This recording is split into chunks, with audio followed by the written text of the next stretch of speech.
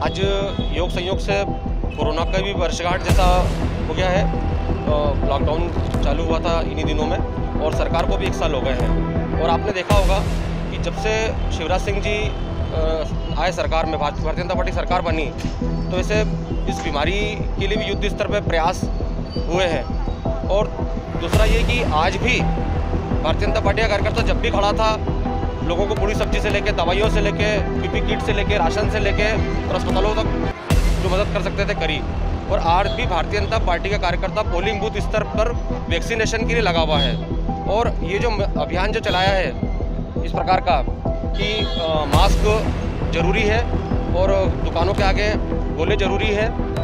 साथ में हमने जोड़ा है, भारतीय जनता पार्टी महू ने, कि हम सभी संकल्प लें बाज़ार के लोग हों, चाहे गाँव के लोग हों, कि हमारे आसपास के पाँच घर के लोग जो पैंतालीस साल से ऊपर के हैं, वो वैक्सीनेशन करा ले, जिससे जब पाँच घर, क्योंकि व्यक्ति को रहना आसपास पाँच घर के दायरे में रहता है तो वो पाँच घर के लोग अपने प्रयास करके सभी को वैक्सीनेशन केंद्रों में क्योंकि गाँव में भी अब हो गए हैं, कोई बोल नहीं सकता है कि हमको बाज़ार आना पड़ेगा। गाँव में भी हो गए, और शहर में भी और वैक्सीनेशन केंद्र खोल रहे हैं। तो भारतीय जनता पार्टी का प्रत्येक कार्यकर्ता प्रयासरत है। और आप लोग जो मीडिया के माध्यम से सब संदेश देना चाहते तो हम भी चाहते हैं कि जो जो भी आपके चैनल जिस प्रकार के उस पर देख रहा है, वो वैक्सीनेशन के लिए स्वयं जाए, डॉक्टर सब चीज़ की जाँच के लिए तैयार है, शुगर, बीपी और उसको वैक्सीन पैंतालीस साल से जो भी अपने आसपास में जो भी रहता है, उसको वैक्सीन के लिए प्रेरित करें। मुख्यमंत्री शिवराज सिंह चौहान के आह्वान पर संक्रमण सतर्कता सायरन बजाया गया। तो आइए जानते हैं कि महू में हमारे संवाददाता के साथ प्रकाश सिसोदिया के साथ कि क्या है महू का माहौल इस अभियान को लेकर? तो प्रकाश, बताए क्या है माहौल? यहाँ पे मैडम बताया जाए कि महू के अंदर भी जो शिवराज सिंह चौहान ने जो मुहिम शुरू की है आज की डेट की तो उसी को लेकर यहाँ पे प्रशासनिक अधिकारी, पुलिस प्रशासन व केंद्र अधिकारी मौजूद रहे और सायरन बजाया गया। जी बिल्कुल। तो प्रकाश सायरन का जो उद्देश्य है वो लोगों को मास्क के प्रति जागरूक करना है साथ ही सोशल डिस्टेंसिंग का पालन कराना है। तो मैं आपसे ये जानना चाहूँगी आपको क्या लगता है कि कितना कारगर साबित हो रहा है या फिर होने लगा है ये अभियान?